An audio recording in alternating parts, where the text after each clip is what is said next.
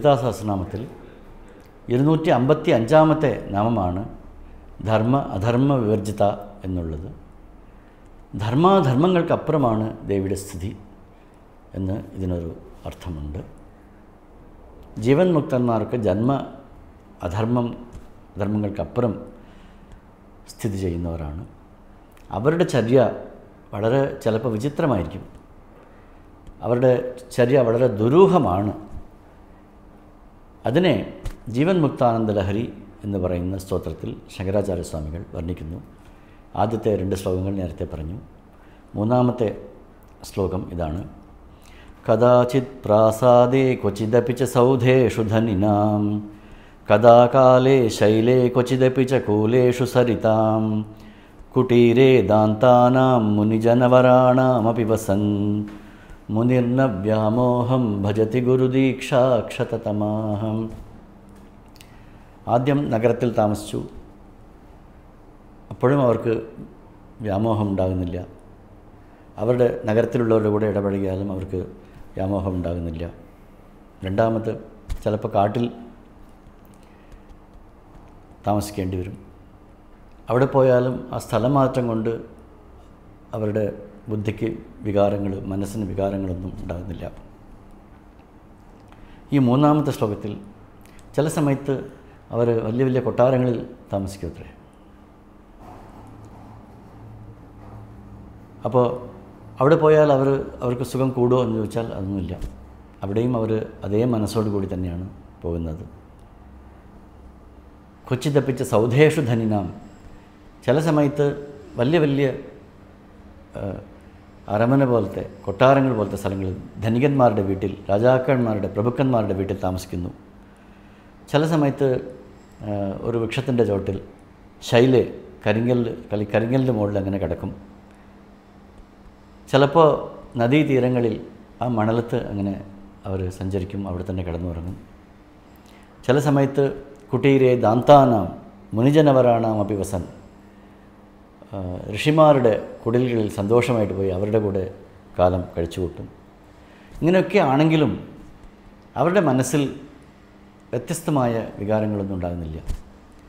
എവിടെ പോയാലും ഞാൻ ആത്മാവാണ് എന്നുള്ള ഉറച്ച മനോഭാവം അവർക്കുണ്ട്. അവരുടെ അവരുടെ പുറത്തുള്ള സാഹചര്യങ്ങളിൽ ഏത് മാറ്റമുണ്ടായാലും ആന്തരികമായ ഭാവത്തിൽ മാറ്റമുണ്ടാകുന്നില്ല. ഇങ്ങനത്തെ ഇങ്ങനത്തെവരാണ് ജീവൻ മുക്തർ എന്നാണ് ശങ്കരാചാര്യ സ്വാമികൾ നമുക്ക് ജീവൻ മുക്തി ജീവൻ മുക്തരുടെ ചര്യകളെ പറഞ്ഞു തരുന്നത്. ജീവൻ മുക്തി ലഹരി സ്തോത്രത്തിന്റെ നാലാമത്തെ ശ്ലോകമാണ് ഇത്. ബാലൈ സാർദ്ധം കരതലഗതാളൈ സഹസിത. ക്വചിത് താരുണ്യാലങ്കൃത നവവധൂഭി സഹ രമൻ. ക്വചിത് വൃദ്ധൈ ചിന്താകുലിതഹൃദയൈശ്ചാപി വിലപൻ. മുനിർന വ്യാമോഹം ഭജതി ഗുരുദീക്ഷാക്ഷതമാഹം ആദ്യം നഗരത്തിൽ താമസിച്ചു പിന്നീട് വനത്തിൽ താമസിക്കേണ്ടി വന്നു പിന്നീട് സൗധങ്ങളിൽ താമസിച്ചു പിന്നീട് ഗ്രാമങ്ങളിൽ ഋഷിമാരുടെ കുടിലുകളിൽ താമസിച്ചു. ഇപ്പോൾ ഇതിൽ പല രീതിയിലുള്ള ആളുകളെയാണ് പറയുന്നത്.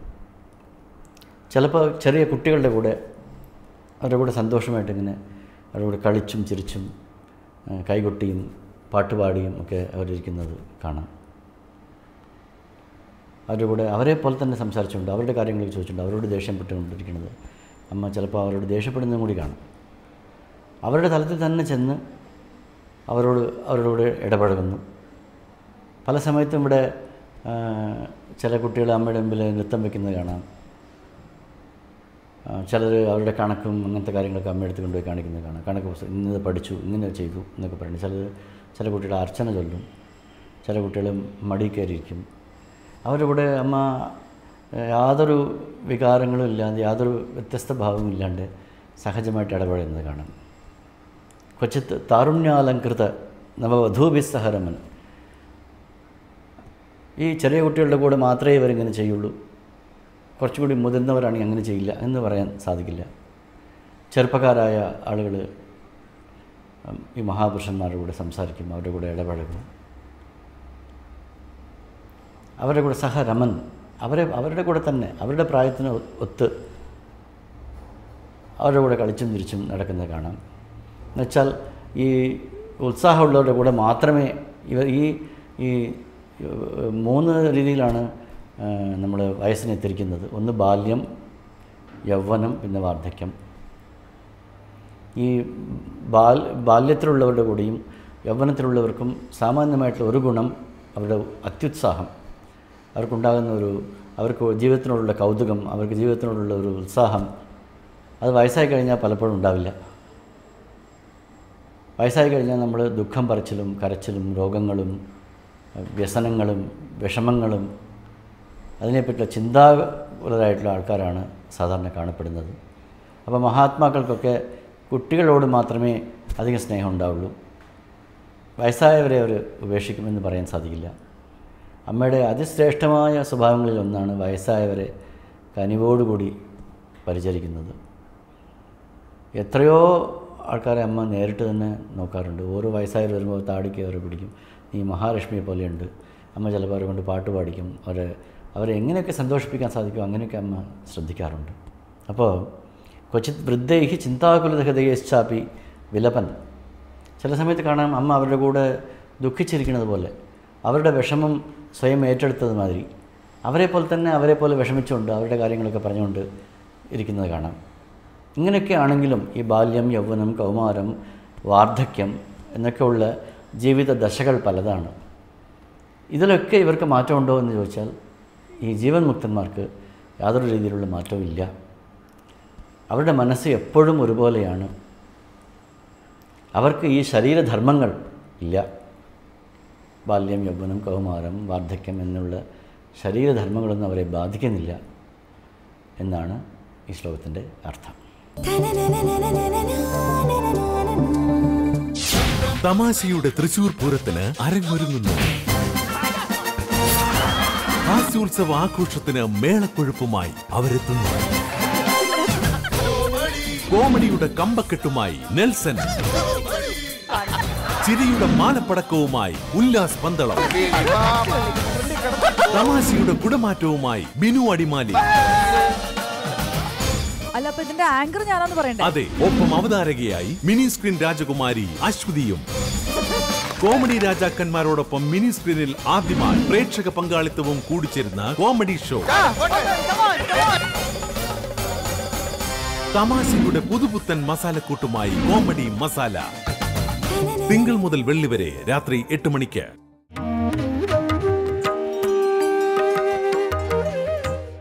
ഭാഗവതത്തിൽ തൃതീയ സ്കന്ധത്തിൽ ഇരുപതാമത്തെ അധ്യായമാണ് നമ്മൾ ചിന്തിച്ചുകൊണ്ടിരിക്കുന്നത്. ഇരുപതാമത്തെ അധ്യായത്തിൽ ഇന്ന് നമ്മൾ ചിന്തിക്കുന്നത് ഇരുപത്തൊൻപത് മുപ്പത് മുപ്പത്തൊന്ന് ശ്ലോകങ്ങളാണ്. ഈ മൂന്ന് ശ്ലോകങ്ങളെ ഒരുമിച്ചെന്ന് ചിന്തിക്കാൻ കാരണം ഈ മൂന്ന് ശ്ലോകങ്ങളും കൂടി ഒരുമിച്ച് ചിന്തിച്ചാലേ അർത്ഥപൂർത്തി ഉണ്ടാവൂ എന്നുള്ളതുകൊണ്ടാണ് നമുക്ക് ആ മൂന്ന് ശ്ലോകങ്ങളെയും ആദ്യമൊന്ന് പരിചയപ്പെടാം.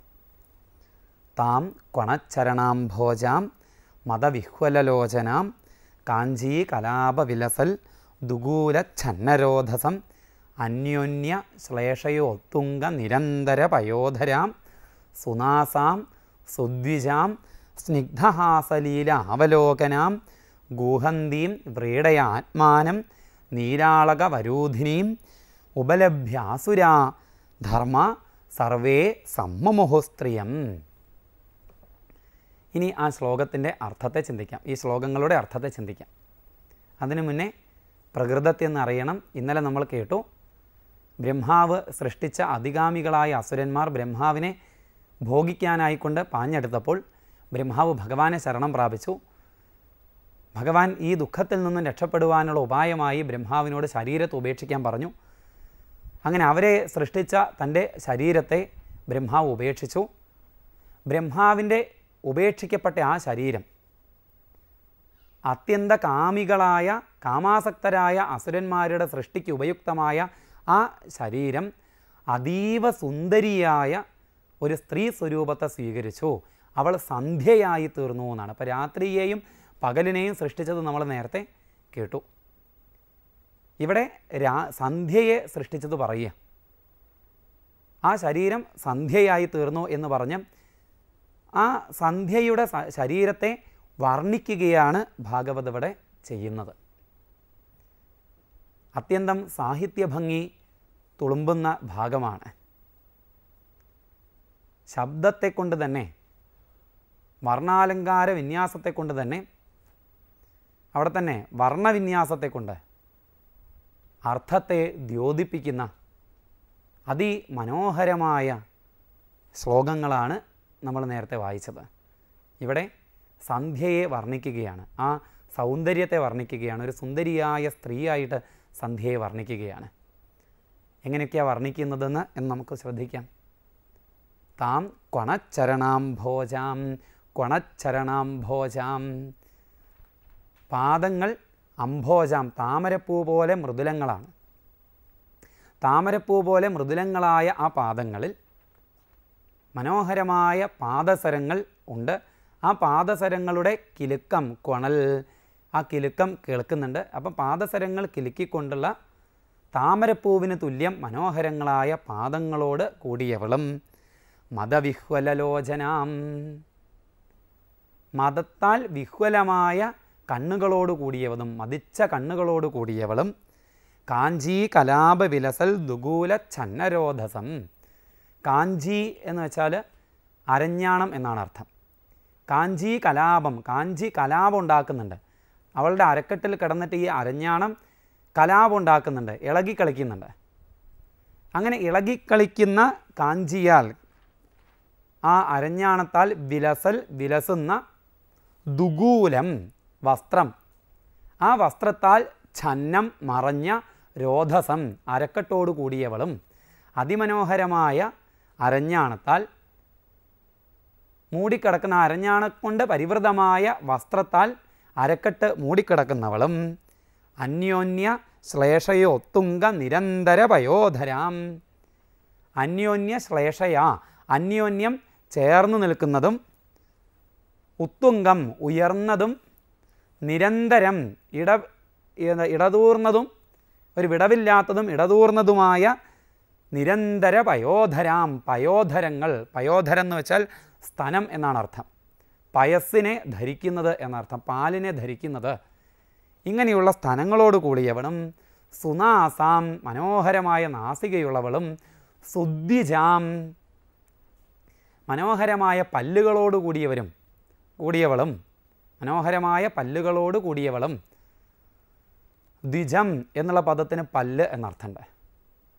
രണ്ട് ജന്മം സിദ്ധിച്ചത് എന്നർത്ഥത്തിലാണ് പല്ല് എന്ന ദ്വിജം എന്ന പദത്തിന് അർത്ഥം വരുന്നത്. പല്ല് രണ്ട് പ്രാവശ്യമാണ് ഉണ്ടാവുക. രണ്ട് പ്രാവശ്യം ഉണ്ടാവുള്ളൂ. ആദ്യം ജനിക്കുന്ന സമയത്ത് ഉണ്ടാവും പിന്നെ ഒരു ഒരു പ്രാവശ്യം കൂടി ഉണ്ടാവുള്ളൂ. ഇങ്ങനെ രണ്ട് പ്രാവശ്യം ജനിക്കുന്നതുകൊണ്ടാണ് പല്ലിന് ദ്വിജം രണ്ട് ജന്മം ഉള്ളത് എന്ന അർത്ഥത്തിൽ ദ്വിജം എന്ന പേര് വന്നത്. അപ്പോൾ സുദ്വിജാം എന്ന് വെച്ചാൽ നല്ല പല്ലുകൾ ഉള്ളവളും സ്നിഗ്ധഹാസലീലാവലോകനാം. മൃദുവായ മന്ദഹാസം ഹാസം അതും ലീലാവലോകനം. ഒരു ലീല എന്ന മണ്ണുള്ള കടാക്ഷങ്ങൾ ഗൂഹന്തീം വ്രീഡയാത്മാനം നീലാളകവരൂധിനീം. ഗൂ വ്രീഡയാ ആത്മാനം ഗൂഹന്തീം വ്രീഡയാ ലജ്ജയെ കൊണ്ട് തന്നെ ഗൂഹന്തീം മറച്ചു വെച്ചിട്ടുണ്ട്. വസ്ത്രങ്ങളെ കൊണ്ട് തന്റെ ശരീരത്തെ ഇതാ തീർത്തും മറച്ചു വെച്ചിട്ടുണ്ട്. നീല അവളുടെ അളകങ്ങൾ തലമുടി നീല നിറമാണ് കറുപ്പുമല്ല നീലയല്ല. ആ ഒരു നിറമാണ് നീലാളകമാണ്. നീലാളകവരൂധിനിയും മനോഹരമായ നീല നിറത്തിലുള്ള തലമുടി ഉള്ളവളും ആയ സ്ത്രീയം. ആ സ്ത്രീയെ കണ്ടിട്ട് ഉപലഭ്യ ആ സ്ത്രീയെ ഉപലഭിച്ച് അസുര അസുരന്മാർ സർവേ സമ്മുമുഹോ. എല്ലാവരും മോഹിച്ചുപോയി അപ്പം ബ്രഹ്മാവിന്റെ നേർക്ക് ഇവർ പോകാൻ കാരണം എന്താണ്? ഭോഗിക്കാൻ ഒന്നില്ലാത്തത് കൊണ്ടാണ്. ഇപ്പോൾ ഇവിടെ ദാ അതീവ സുന്ദരിയായ ഈ പെൺകുട്ടിയെ സന്ധ്യയെ കണ്ടതോടുകൂടി അസുരന്മാർ തീർത്തും മോഹിതരായി സന്ധ്യയുടെ നേർക്ക് ചെല്ലുകയാണ് ഇനി. അപ്പോൾ ഈ സന്ധ്യ അസുരന്മാരുടെ യാമമാണ്. അസുരന്മാരുടെ സമയമാണ് സന്ധ്യാസമയം. അതുകൊണ്ടാണ് സന്ധ്യാസമയത്ത് ഈശ്വരാരാധന ചെയ്തിരിക്കുക വേണ്ടത്. വേറെ പുസ്തകം വായിക്കുക ഭക്ഷണം കഴിക്കുക ഇങ്ങനെയുള്ള കാര്യങ്ങളൊന്നും ചെയ്യാൻ പാടില്ല. സന്ധ്യാസമയത്ത് ഭഗവത് ആരാധന ചെയ്യുക വേണ്ടത് അത് അസുരയാമമാണ് എന്നുള്ളതുകൊണ്ടാണ്. അപ്പോൾ അസുരന്മാർ ഇനി ഈ സന്ധ്യയെ പ്രാപിക്കുകയാണ് അടുത്ത ശ്ലോകങ്ങളിൽ. ഇവിടെ അത്യന്ത കാമികളായ അസുരന്മാരെ സൃഷ്ടിക്കാൻ ഉപയുക്തമായ ശരീരത്തെയാണ് ബ്രഹ്മാവ് ഉപേക്ഷിച്ചത്. ആ ശരീരമാണ് അതിസുന്ദരിയായ സ്ത്രീയായിട്ട് മാറിയത്. അത്യന്ത കാമമാണത്. അപ്പോൾ ഈ അത്യന്ത കാമം പ്രത്യക്ഷത്തിൽ സുന്ദരമാണ്. പ്രത്യക്ഷത്തിൽ നമ്മുടെ ഉള്ളിലുള്ള കാമം സുന്ദരമാണ്. കാമം അങ്ങനെ സാധിക്കുന്ന സമയത്ത് നല്ല സുഖം ഉണ്ടാവും നല്ല സൗന്ദര്യം അതിൽ അനുഭവപ്പെടും. പക്ഷേ അത് നമ്മെ നേരത്തെ പറഞ്ഞതുപോലെ കാർന്ന് തിന്ന് നശിപ്പിക്കുകയാണ് ചെയ്യുക. അപ്പോൾ ഇനി ഇതാ ആ സന്ധ്യയെ അസുരന്മാർ പ്രാപിക്കുന്നതായ ഭാഗമൊക്കെയാണ് നമുക്ക് പറയാനുള്ളത്. അത് അടുത്ത എപ്പിസോഡുകളിൽ നമുക്ക് കേൾക്കാവുന്നതാണ്.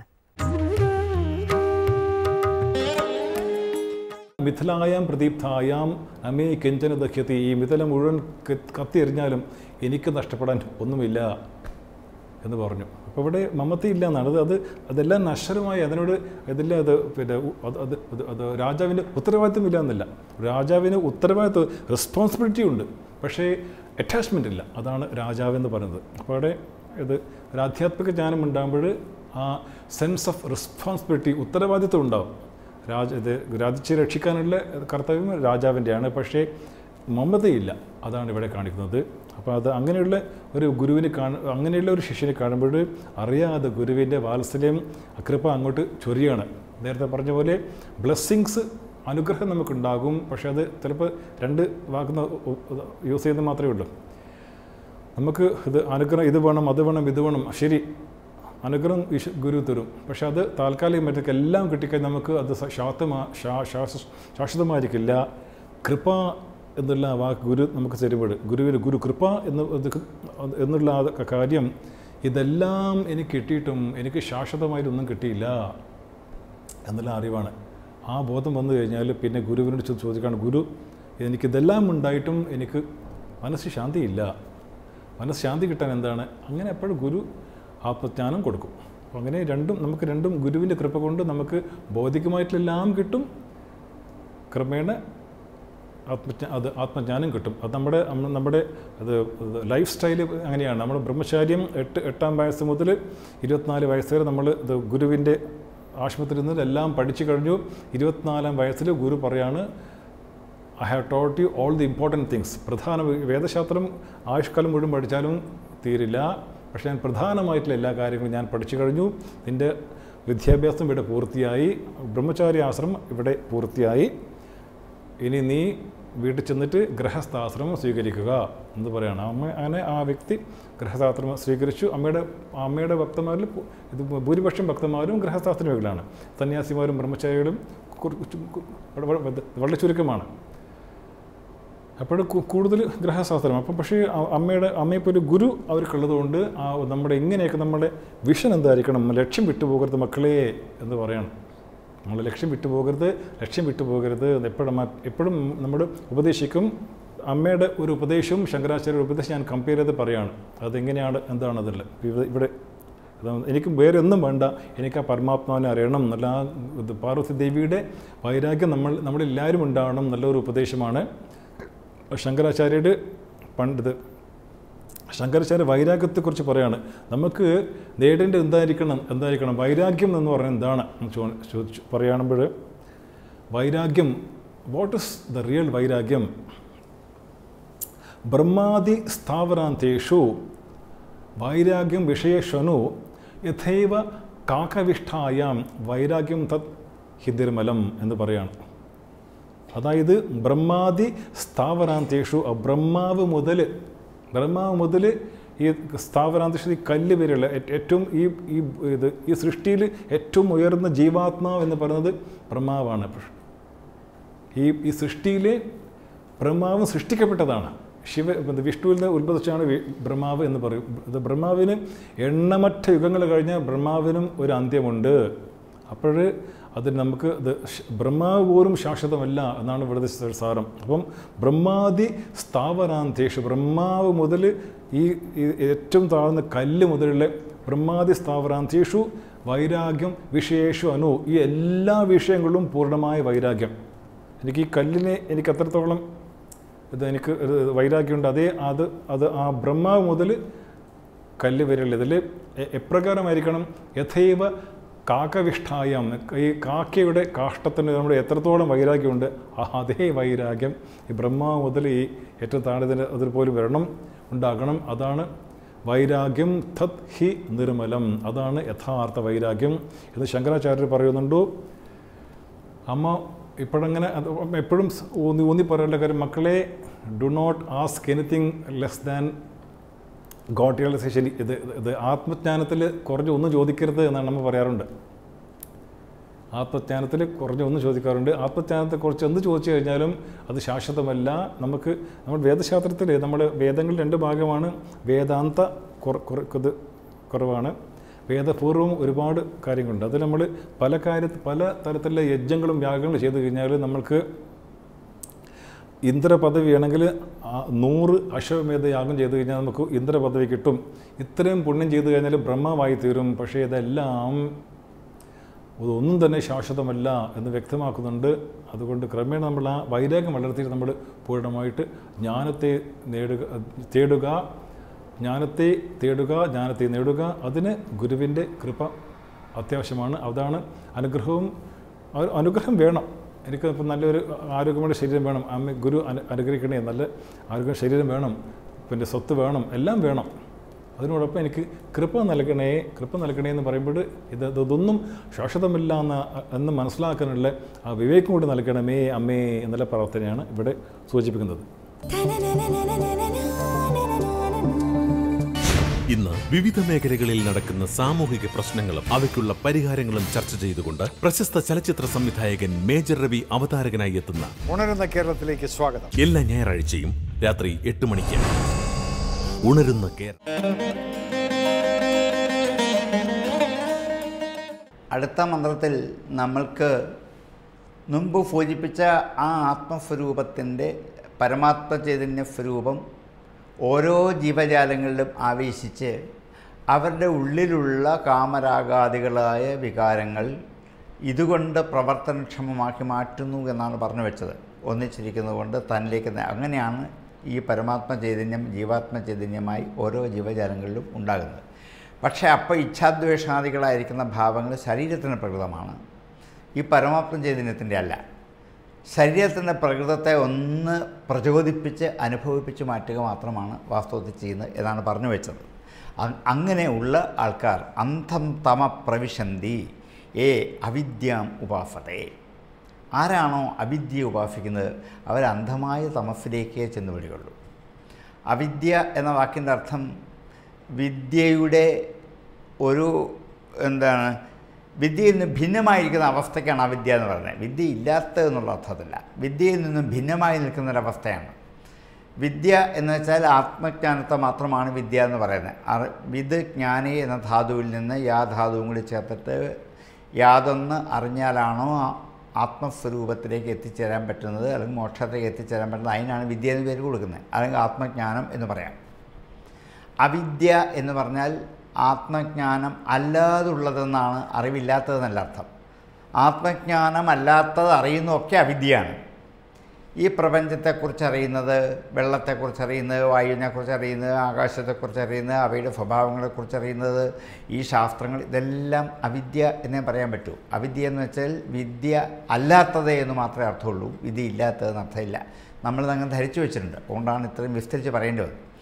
അപ്പം അന്ധം തമപ്രവിശതി ഏ അവിദ്യ ഉപാസത ആരാണോ അവിദ്യകളായി നിറഞ്ഞു നിൽക്കുന്ന ഈ പ്രാപഞ്ചിക സുഖ അനുഭവത്തിന്റെ അല്ലെങ്കിൽ പാഞ്ചഭൗതികമായ ഈ പ്രപഞ്ചത്തെക്കുറിച്ചുള്ള വിസ്തരിച്ചുള്ള അറിവ് ആര് നേടുന്നുവോ അവരെ അന്ധം തമപ്രവിശതി അന്ധമായ ഇരുട്ടിലേക്കാണ് പ്രവേശിക്കുന്നത്. കണ്ണ് കാണാനാവാത്ത അജ്ഞാനത്തിലേക്കാണ് പ്രവേശിക്കുന്നത്. ഒരിക്കലും ലക്ഷ്യത്തിലേക്ക് അവരെ കൊണ്ടെത്തിക്കാൻ ഇത് സഹായിക്കത്തില്ല. ഇത് ഇവരൊക്കെ പഠിച്ച് അവിടെ പൂർണമാക്കി ഉള്ളൂ. കാരണം അത് അപൂർണമാണ്. ഈ ആണ്. ഈ അവിദ്യ അപൂർണമാണ്. പൂർണമാകുന്നത് വിദ്യ മാത്രമേ ഉള്ളൂ. അതുകൊണ്ട് ഈ അവിദ്യയിൽ കൂടി അങ്ങോട്ടും ഇങ്ങോട്ടും ഇവിടുന്ന് അങ്ങോട്ടോ അവിടെ നിന്ന് ഇങ്ങോട്ടോ ആ വിഷയം പഠിക്കുന്നു ഈ വിഷയം പഠിക്കുന്നു മറ്റേ വിഷയം പഠിക്കുന്നു അതിൽ ഇനിയും പഠിക്കാറുണ്ട്. ഇങ്ങനെ പഠിച്ച് പഠിച്ച് പഠിച്ച് പോകുന്നത് ഈ അവിദ്യ ഉപാസിക്കുന്നതുകൊണ്ട് ഈ ഈ പ്രപഞ്ച ജീവിതത്തിന്റെ കൂരിരുളിലേക്ക് അല്ലെങ്കിൽ സത്യമായ ഈ ജ്ഞാനത്തെ സാക്ഷാത്കരിക്കാനാവാതെ അന്ധമായ തമസിലേക്ക് പ്രവേശിക്കുക തന്നെ ചെയ്യുന്നു. തതോ ഭൂയ ഇവത്തെ തമോ യ ഓ വിദ്യായം രഥ യ ഓ വിദ്യായം രഥ ആരാണോ വിദ്യയിൽ രതിയുള്ളവർ താല്പര്യമുള്ളവർ അവരും തതോ ഭൂയ ഇവ തേ തമോ അവരും തമസിലേക്ക് തന്നെയാണ് പ്രവേശിക്കുക. ഇത് നമുക്ക് വൈരുദ്ധ്യമായി തോന്നാം. വിദ്യ അഭ്യസിച്ചാലും തമസിലേക്കാണ് പ്രവേശിക്കുന്നത്. അവിദ്യ അഭ്യസിച്ചാലും തമസിലേക്കാണ് പ്രവേശിക്കുന്നത്. അവിദ്യ അറിയുന്നതിനേക്കാൾ കൂടുതൽ തമസിലേക്കാണ് വിദ്യ കൊണ്ടെത്തുന്നത് എന്ന് പറഞ്ഞു വെച്ചത്. എന്താണെന്ന് ഇനിയുള്ള മന്ത്രങ്ങൾ വിസ്തരിച്ച് ഇതാണ് വ്യാഖ്യാനിച്ച് വരുന്നത്. കാരണം ഈ വിദ്യ എന്നുള്ളത് ഈ ആത്മസ്വരൂപത്തെ അറിയാനുള്ള ഒരു ഉപകരണം മാത്രമാണ് അത് അറിഞ്ഞ് കഴിഞ്ഞാലേ ഞാൻ അറിഞ്ഞു എന്ന് സ്വയം അഭിമാനിക്കാൻ പറ്റുള്ളൂ. അത് എന്താ പഞ്ചഫാര പോലെ പ്രസംഗിച്ച് മനസ്സിലാക്കാൻ പറ്റുന്ന ഒന്നല്ല സ്വയം അനുഭവിച്ചറിഞ്ഞേ പറ്റുള്ളൂ. ഇനിയും ഈ വിദ്യ കൊണ്ട് മാത്രം അല്ലെങ്കിൽ ഈ ആത്മജ്ഞാനം കൊണ്ട് മാത്രം ഈ പ്രപഞ്ചത്തിൽ നമുക്ക് ജീവിക്കാനാവില്ല. ആത്മജ്ഞാനത്തോടൊപ്പം ഭൗതികമായ വിജ്ഞാനവും നമുക്ക് വേണം. ജ്ഞാനവിജ്ഞാനങ്ങൾ ഒന്നിച്ചു തന്നെയാണ്. ഗീതയിലെ ഒരു അധ്യായത്തിന്റെ പേര് തന്നെ ജ്ഞാന വിജ്ഞാന യോഗം എന്നാണ്. കാരണം ഇത് രണ്ടും കൂടി ചേർത്തേ കൊണ്ടുപോകാൻ പറ്റൂ. കാരണം ഇവിടെ ജീവിക്കുന്നിടത്തോളം കാലവും പ്രാപഞ്ചികമായ അവിദ്യ അതുകൊണ്ടാണ് വേദങ്ങൾ ഉപനിഷത്തുകൾ എന്നൊക്കെ ഇതിനെയെല്ലാം ഋഷി അവിദ്യ അവിദ്യ എന്നാണ് വിളിച്ചുകൊണ്ടിരിക്കുന്നത് കാരണം അതിൽ കൂടി അറിയേണ്ടത് വിദ്യയാണ്. ഈ വിദ്യ നേടുന്നില്ലെങ്കിൽ ഇതൊക്കെ അവിദ്യ തന്നെയാണ്. അപ്പോൾ ഇതൊക്കെ അറിഞ്ഞിട്ട് യഥാർത്ഥമായ വിദ്യ അറിഞ്ഞാൽ ഈ വിദ്യ കൊണ്ടുമാവില്ല. ഈ വിദ്യയും ഇല്ലാതായി തീരുമ്പോൾ മാത്രമാണ് മോക്ഷം എന്ന അവസ്ഥയിലേക്ക് എത്തിച്ചേരാൻ പറ്റുകയുള്ളൂ. അതുകൊണ്ടാണ് അവിദ്യയില്ലാതന്മാരായാലും തമസിലേക്ക് തന്നെ എത്തിച്ചേരുന്നു എന്ന് ഈ മന്ത്രത്തിൽ ഋഷി നമ്മെ ബോധ്യപ്പെടുത്തുന്നത്